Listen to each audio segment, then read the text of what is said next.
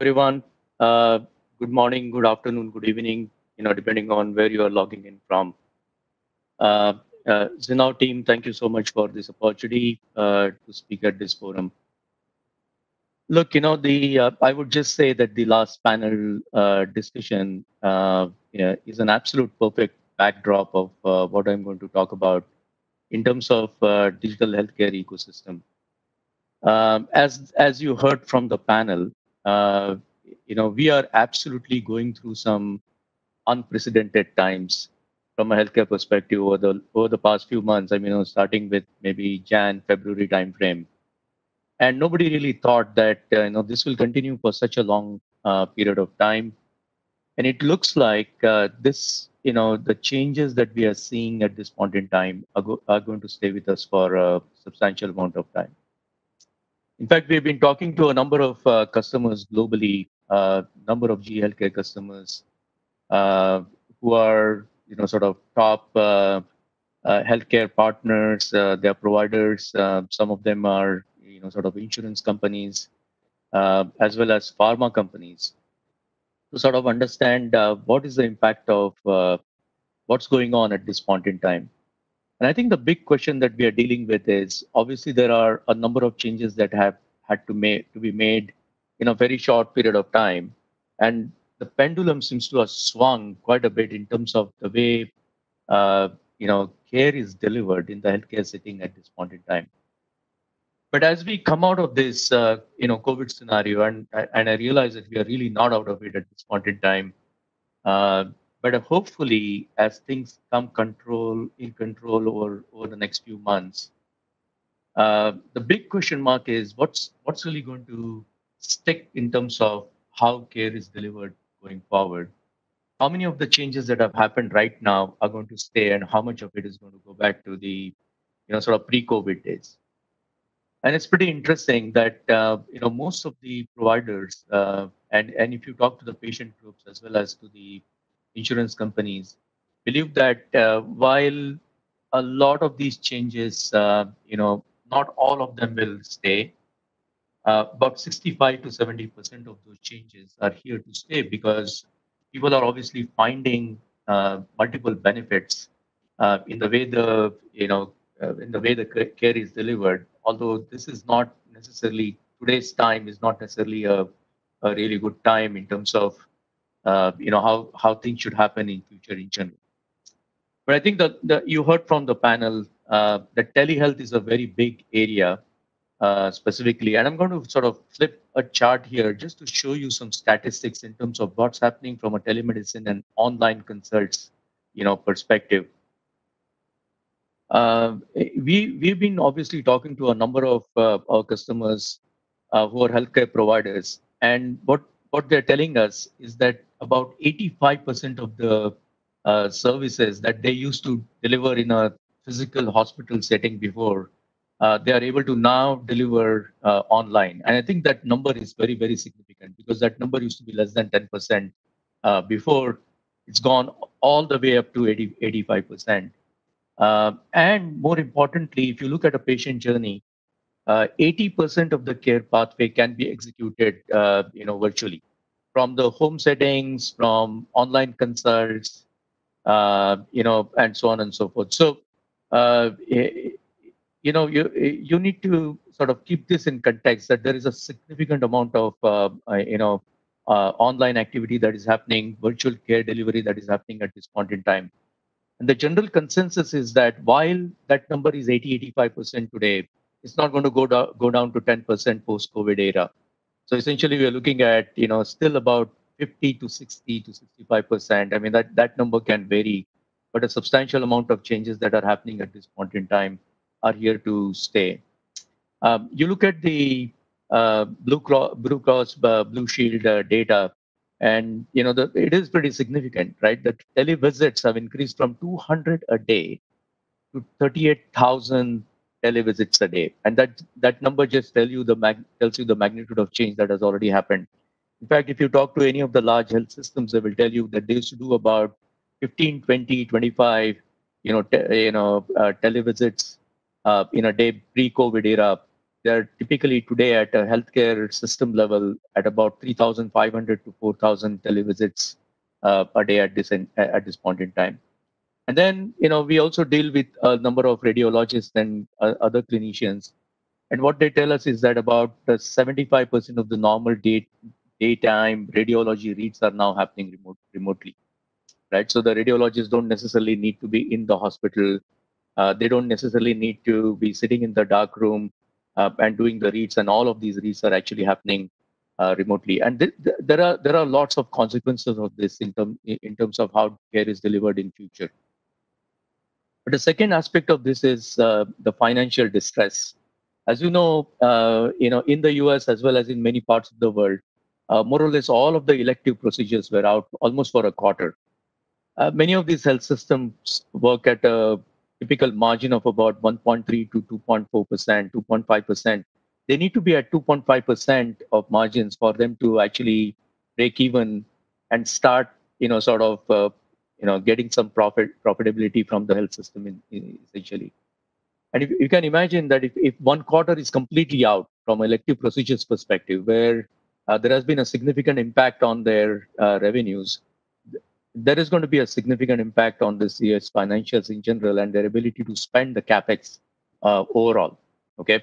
And in fact i'll show you on, on on the subsequent slide. In fact i can bring that up uh, right now that you know when we query about uh, you know what's happening from a capex perspective, uh, a lot of health systems are basically saying that their capex are going to be down 40 to 50 percent, uh, which is absolutely substantial, and that's going to drive uh, after many years, I would say after decades, a complete overhaul in terms of the business models in which uh, you know healthcare transactions actually take place.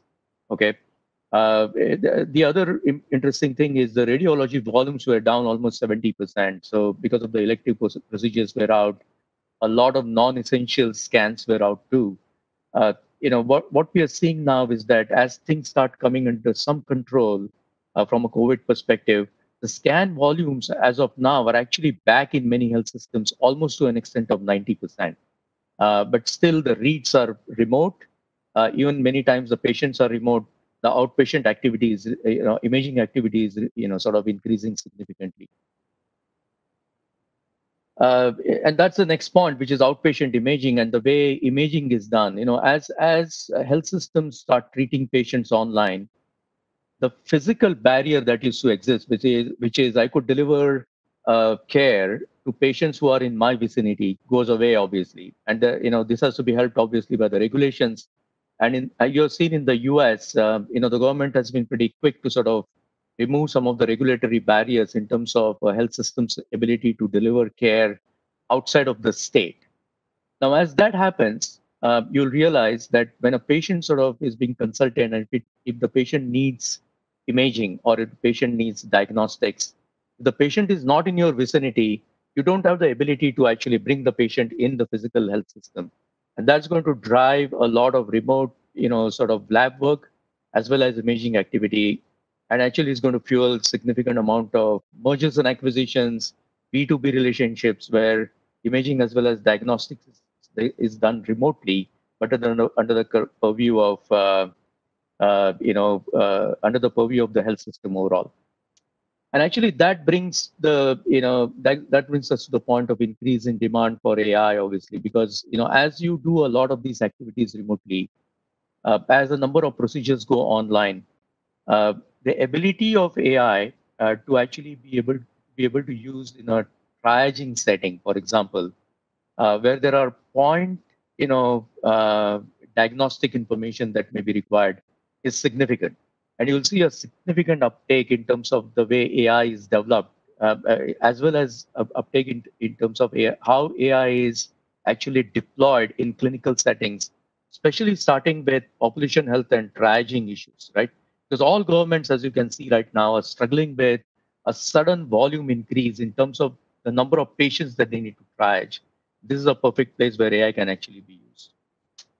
And then, you know, all of this is putting pressure on the pharma companies because the governments are basically saying, you know, to the pharma companies that you need to make these drugs available, uh, you know, at a much lower cost, which again means from a pharma company perspective, they need to take these drugs upstream. the efficacy of these drugs uh, are actually much, I, I, would say the drugs are much more effective if, if the diagnosis is very early in the stage of the disease.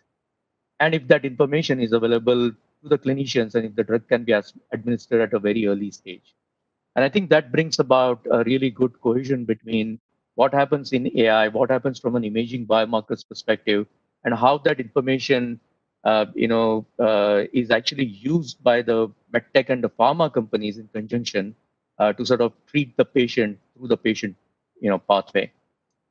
All of this online activity, data, uh, AI is obviously going to bring up a lot of cybersecurity concerns because as you go remote, uh, you know, as you use more and more and more digital technologies as well as AI, uh, there is going to be a significant concern from a cybersecurity perspective. My sense is that uh, the cyber you know uh, aspects of the technology are going to evolve as rapidly as all of the deployment aspects of the technology evolves so we'll see a fair bit of activity there uh, in the panel that just concluded uh, you heard quite a bit about data the importance of data and data interoperability so i don't want to belabor that point but i think this is a very important point. and then overall i think the governments will have to take a a pretty significant view in terms of uh, the regulatory barriers that exist today in terms of how the healthcare is actually delivered in future. So I think those are, you know, those are obviously some of the trends, uh, you know, that we see. Uh, as I said, the radiology volumes are thankfully back. You know, almost 90%. Many of the health systems are now saying that the scan activity is back to almost 90% of what what it was before. Some of it is for COVID, obviously, but some of it is for non-COVID patients too. Uh, but in in the US, uh, the virtual visits, there is a prediction that the virtual visits will exceed a billion in 2020 uh, due to COVID-19, due to the you know social distancing norms and so on and so forth. And most importantly, for us to be able to protect the frontline you know uh, workers uh, in the health systems in general. So look, you know, what this means from a technology perspective is if you look at the brick and mortar hospital today, that now gets disaggregated and goes more into a virtual domain. And if you talk to the health systems, what's really important for them at this point in time is that look, they they want to be in control of the patient journey at the end of the day, right?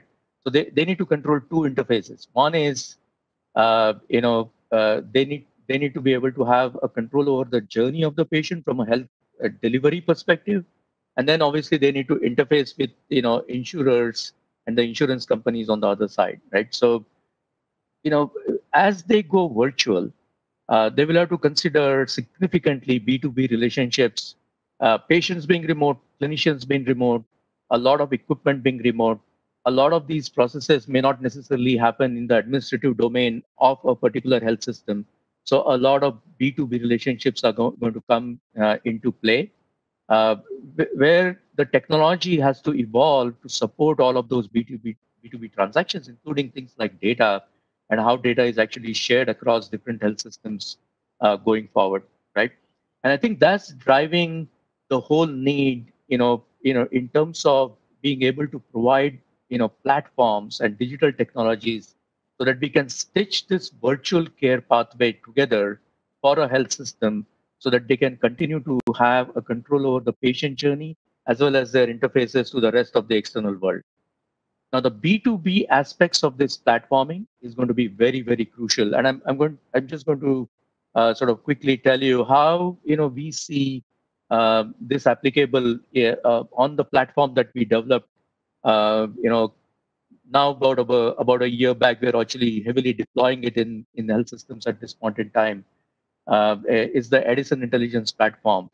And essentially, as we connect up, you know, this platform basically allows us to connect up all of the devices, uh, including the Im imaging as well as the critical care uh, solutions, ingest data from it, as well as aggregate information from the rest of the health system, including the EMRs, uh, as well as digital pathology and so on and so forth.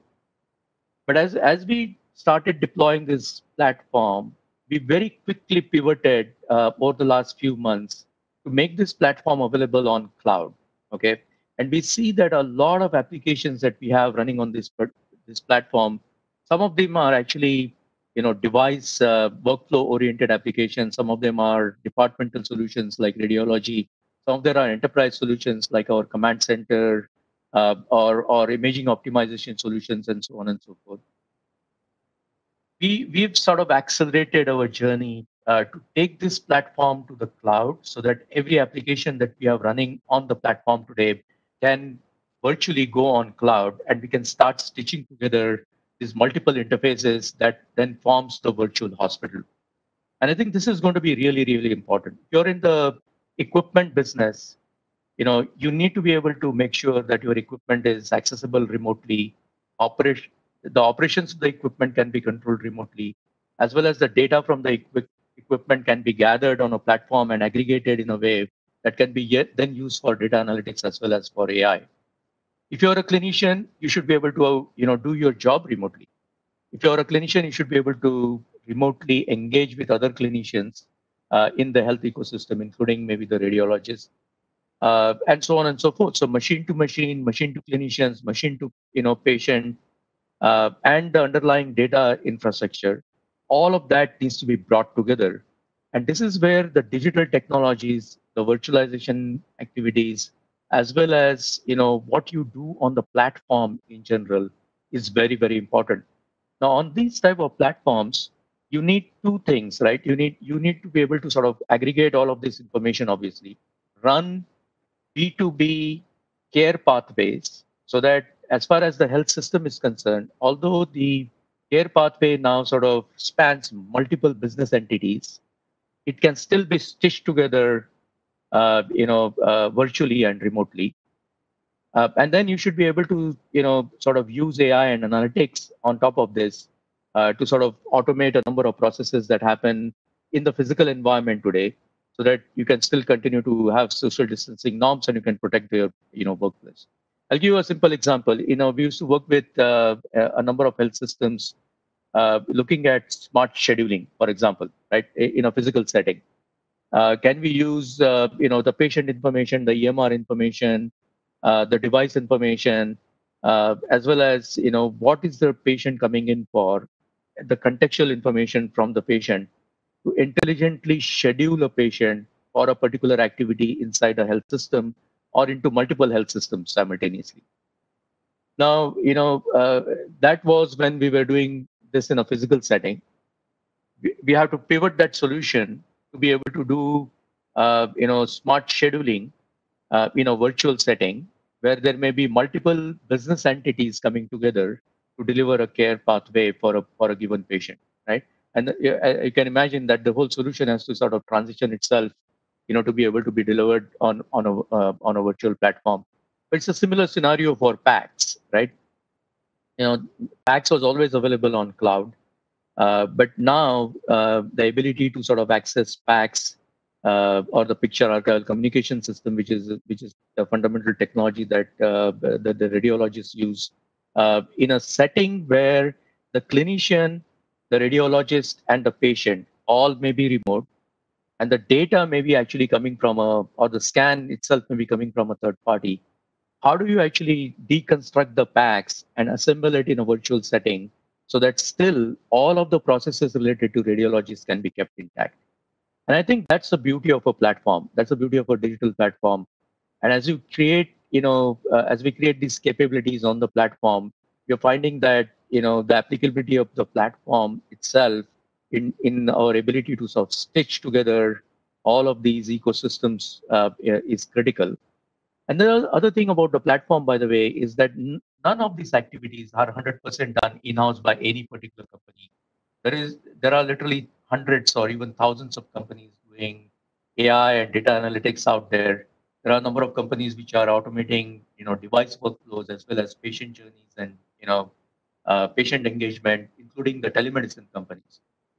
Our ability to work the whole platform in a way that we can actually stand up a complete ecosystem and be able to stitch together you know multiple aspects of this solution a number of them may come from you know third parties not necessarily you know from the platform provider uh, is going to be absolutely the key and that's exactly the direction that we are taking from a GE Healthcare perspective. We're, we're trying to set up a pretty large sort of external ecosystem, external to GE Healthcare, where a number of these solutions are going to be built outside of the company, uh, and then but still need to be stitched together from a virtual hospital, telemedicine, or even from a patient perspective for the care to be delivered in future in a way that is both safe, uh, it is convenient, it is accessible, and it is affordable.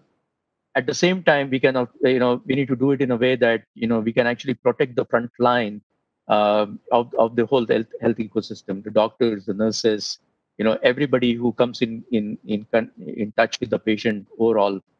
The more we do this virtually, the more effective it is going to be going forward, right? And I think this is where platforming as well as the ecosystem plays in a very, very big way, uh, I would say, uh, going forward.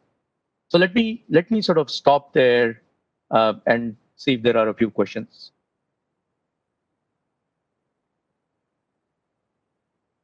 We do have a few questions, sir, but in interest of time, I think we can take them offline. I hope that's okay with you. Absolutely. Thank you so Thank much. you so much. Thank you so much, Amit, for breaking down the process of building a digital healthcare ecosystem for us. Thanks again.